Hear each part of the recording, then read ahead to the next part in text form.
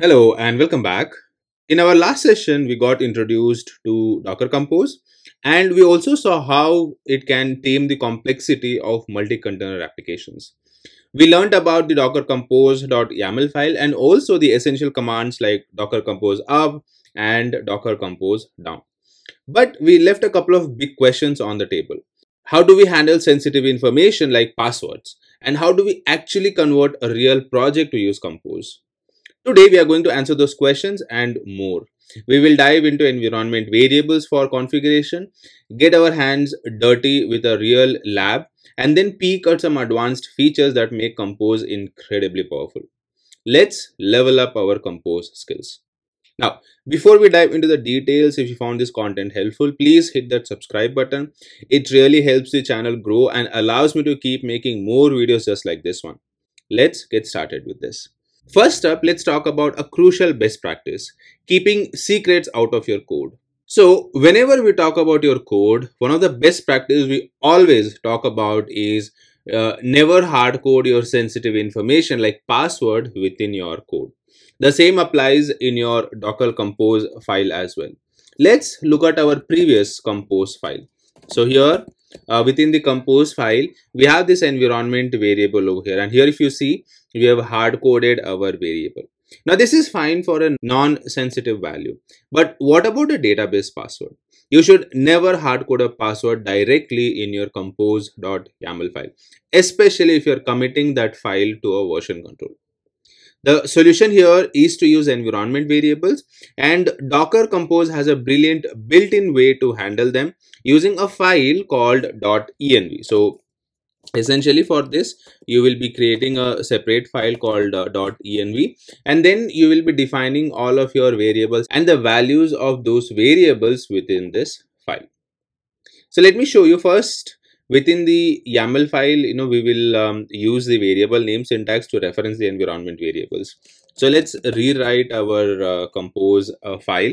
So what I'll do here is in addition to this um, uh, Redis host, let me also set my db password and then I'm going to reference my variable here.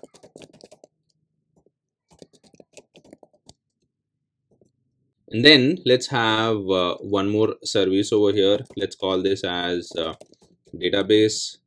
And then the image I want to use is Postgres 13 and then my environment is Postgres password and we will refer the same so here, if you see, I have defined my variable and then the variable value, which is basically, you know, I'm telling that the value is stored somewhere else.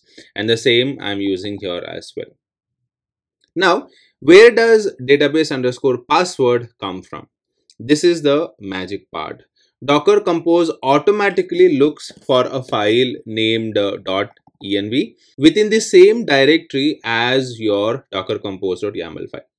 So go ahead and create this file and then within this file you can define your variable. So the basically the variable name whatever you have defined and then the value. So let's say secret password one to this something and then maybe you can have uh, more variables that's totally up to you. So let's say web port 5000 and then so on.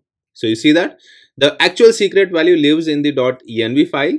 And the golden rule is you must add this .env file to your .git ignore file to prevent this file from being accidentally committed to your version control. So let me save this file and we can do this uh, docker compose up. And what will happen is my docker will read the .env file. It will inject the value that we have stored here. It will inject that to my services and your app will work perfectly without any secrets being exposed in your uh, main configuration. All right so let me use this ampersand. So i'm running this as a background process. And done so it's a simple pattern, but it's absolutely fundamental for professional Docker usage. Alright, theory is great, but let's get our hands dirty. Your mission, should you choose to accept it, is to create a multi-container application that consists of a web app, a Redis service for caching, and a custom network into a Docker Compose file. I will walk you through it step by step.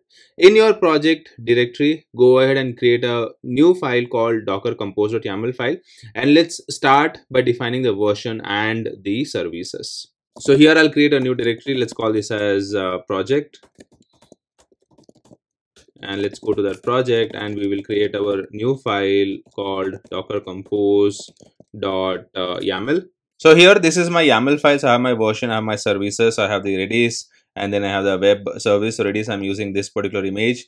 And for the web we will be building a docker file. I've defined my ports and then my environment variable. Now for this what i'll do is i want to i want to define this as a, a variable. So let me copy this and let me remove this from here so that um, we can declare a variable. So let's say dollar and let's call this as redis url variable and then let me save this. And we will create the dot env file and we will have the variable over here. So we will call the variable so which is redis uh, url var. And then the variable. So basically i don't want to hard code anything. So it can be used for non-sensitive uh, sensitive information for anything. But the point is uh, try to define your variables within this dot .env file. All right. And now let's go ahead and build this. Now before we build this if you notice the uh, compose file we are, we are not uh, creating any network manually. Compose will automatically um, create a default network for us.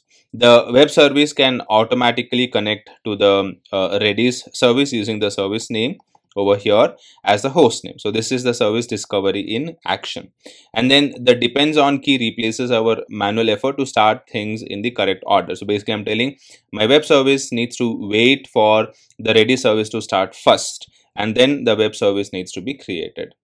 Now the moment of truth, let's navigate to the project directory. So here we will run our command docker compose up and then I'm using this hyphen build. I'll explain that in a bit and then ampersand so that my um, uh, uh, the the services are running in the background. So this hyphen hyphen build flag basically tells compose to rebuild the image for the web service from your docker file. So here if you can see you know it is it is using using the cache because we don't have any um, uh, changes so, and you can see here my application is up so now uh, let me open up a different terminal so that uh, I can quickly show you let me take the instance IP and uh, let's hit this on port 5000 and you can see I'm able to see my application code so your app should be working exactly, you know, the way it was doing in the last session. But now this is managed as a single declarative unit. So essentially, if you can, if you can see here, my uh, uh, uh, Python application is able to connect to my Redis, which is declared as a uh, variable. I'm, I'm using the .env file where I've declared the variable and it is able to use that. My Docker Compose is able to use that and it is able to uh, talk to my Redis uh, host and it is able to. So if I refresh this, for example, if you see, you can see this is basically been stored within my Redis database all right. So that's that's basically how we can make use of your dot env file. So once again please keep in mind that whenever we are talking about um, uh, your docker compose always try to make use of your env file to declare your variables. So let me stop this. And uh, once you're done working with this please go ahead and uh, remove everything so you can use the docker compose down command. And that's it you have successfully containerized um, an application and orchestrated it with Docker Compose. This is a huge step forward in your DevOps journey. I'll share all these files within my GitHub repo. I have this already, but I'll share the link to this so you can also try it out. So let me just run this Docker Compose down command and this should remove everything for me. All right.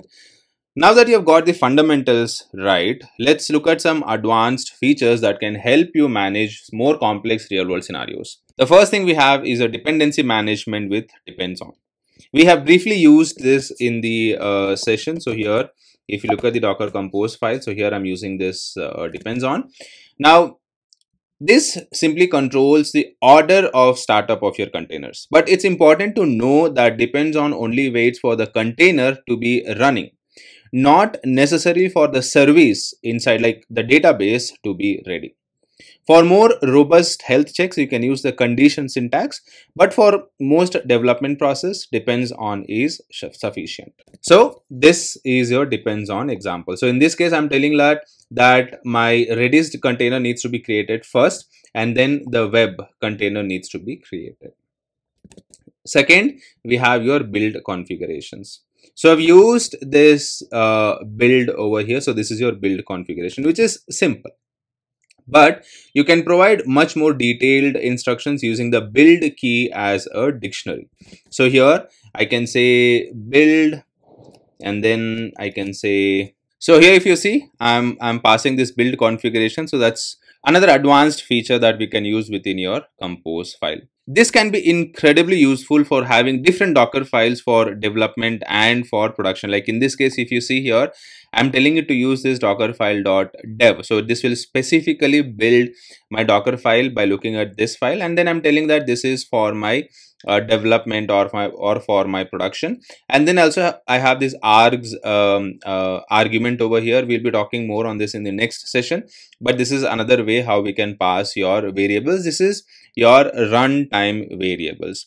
So whenever you have different different Docker files and if you want to use those Docker files based on your environment, we can use this build configurations. And finally, one of my favorite features is your profiles. Profiles allow you to define services that should only be started in specific situations. Think of development only tools or debugging utilities or any alternative services. For example, let's say you only want a Redis commander service, which is a GUI for Redis to run when you're in the development mode. So here, for example, if you see, so we'll have the web uh, uh, configuration over here, the Redis configuration over here, and then you see this another service that I'm creating. So this is basically a GUI for your Redis, and you see these profiles over here this is where I'm defining it. Now, if you just run the docker compose up command, it will only start the web and Redis services. The Redis commander service is ignored. To start it, you'll have to explicitly activate the dev profile. So essentially, um, in your docker compose command, you'll have to say docker compose hyphen hyphen uh, profile and then the name of the profile that you have defined. And then I will say or the other way we have is docker compose up hyphen hyphen profile dev so we use this particular command when you want to start all the services with the dev profile. So this is a clean, powerful way to manage different environments and optional components within a single comp compose file. So by default, the uh, if I just run the docker compose it will start the web service and the redis service. It will not start this redis commander service. I'll have to explicitly pass the profile uh, flag to tell that hey I want to start this particular uh, service as well. So that's where we can make use of your profile. So these are some of the advanced features that you can use within your Docker Compose file, um, especially when you're experimenting and you want you're you're working in the development mode you can make use of this. Uh, .env is something very commonly used. Uh, different different docker files is again obviously when you want to experiment with uh, different different docker files for different different environments. And then profiles is when you're in experimenting you want to use development tools or basically any anything internal. That's where we make use of it. And that's all for this session so you have taken a huge leap forward. You now know how to securely manage configurations with .env files. You have successfully converted a, a real project to use Docker Compose in our hands-on lab. And you have seen a glimpse of the advanced power that profiles and build configurations gives you. You're no longer just running containers, you're orchestrating and designing your application's infrastructure as code. In our next session, we will talk about some advanced Dockerfile techniques like multi-stage builds and few more things like uh, env versus arg cmd versus entry point. If you found this session helpful please hit that like button subscribe to the channel for more content and let me know in the comments section if you have any queries. Thank you for watching and i will see you in the next session